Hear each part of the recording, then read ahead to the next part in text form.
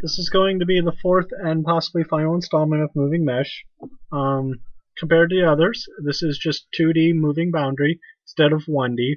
So we're going to be looking at this circle shrink and only be left with a rectangle.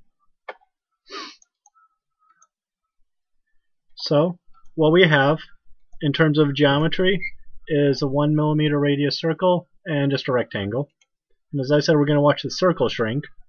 And so we're going to start with deformed geometry, and we're going to give this mesh some, we're going to give this circle some velocity inwards. So how do we do this?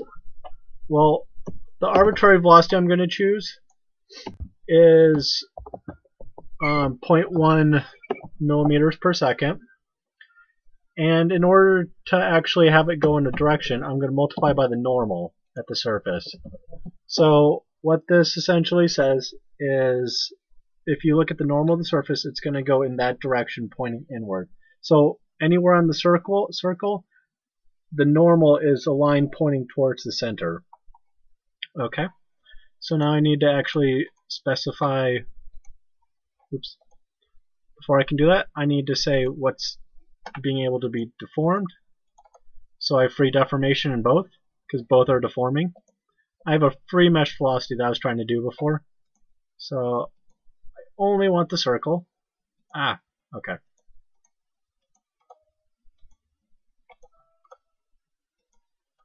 Okay, so all the boundaries in the circle will move inward now. Well, now they'll move inward because I want to go in the negative direction. And this is actually wrong, but I'm going to run it anyways and show you, and then show you the fix for this. So please continue watching because this is not the final solution. Okay, and I also need to say that this boundary will not change in the y, but will change in the x. So, oops, there's no change in y, but any change in x. So that boundary will eventually come together. So all I did was I had free deformation for both domains. I gave a prescribed mesh velocity for the circle, where it's the velocity times the normal. So it's going to take a fraction in each direction. And then since I have a 1 millimeter circle, I'm just going to do a time dependent. And at most I can do 10 seconds. So I'm just going to do 10 seconds and record every, let's just say 0.5.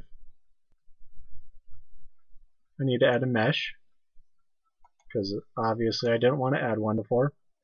And for moving boundary in this case, I strongly suggest free quadrilateral. And I'm just going to do normal, something simple. And so if I build my mesh, what does it look like? Okay, we have a bunch of squares, bunch of, sorry, quadrilaterals.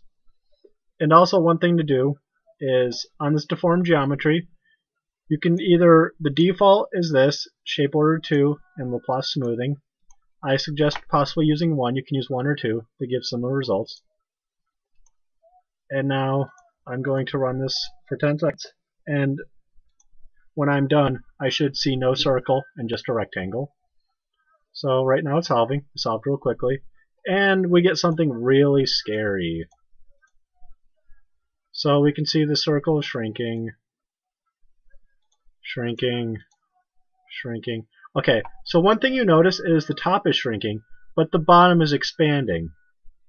So what that means is COMSOL actually took the normal to go out, sorry, to go into the circle. So we need to actually flip the sign on the interior part. So all we do is we give a prescribed mesh velocity and we're going to do the same thing we did before.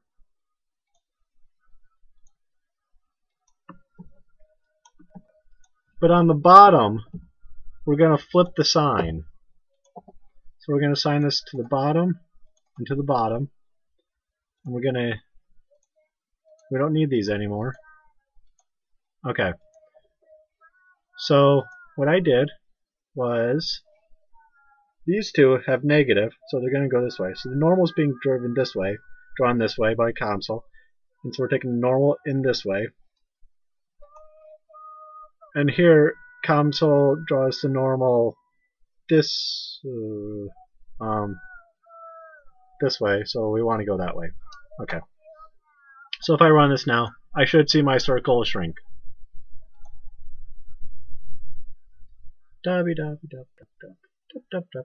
Okay. So that's one and a half. Much different than before. Oh good, it's shrinking. Shrinking. Shrinking. Shrinking. Oops. I wanted to zoom in. So notice how it's getting smaller and smaller. So we're about to hit numerical errors now. Seven seconds. Okay, it's getting a little rough. Eight. It's getting a little wrinkly now. This is when you need to actually use a smaller time step versus your initial time step, and this is where it's going to be very bad. It looks like uh, a crab, and now it looks like Picasso. So we made Picasso again. Our, so our circle shrank, but because of numerical challenges, as it got really small, we needed to actually change the time step smaller and smaller. So I urge you to actually retry this with a smaller time step, and you'll actually see um, improved convergence.